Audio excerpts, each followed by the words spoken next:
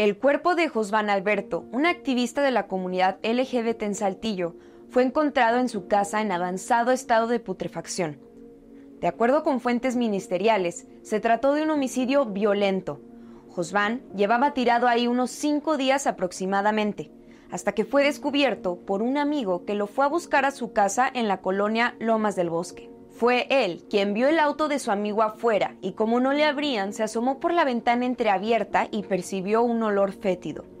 Decidió entrar por ahí, revisó las habitaciones y halló el cuerpo. Entonces llamó al 911 y la policía tomó conocimiento. Aunque oficialmente no se ha dado a conocer una causa de muerte, se sabe que Josván tenía cinta en la cara y estaba atado de pies y manos. Es por ello que la organización de la comunidad Sana El Redo ya se pronunció y exigió que el hecho sea investigado como un crimen de odio. Además de ser trabajador del Hospital General de Saltillo, Josván también se ganaba la vida como estilista en una estética que instaló en su casa. Recuerda seguirnos y activar las notificaciones para que no te pierdas de nada.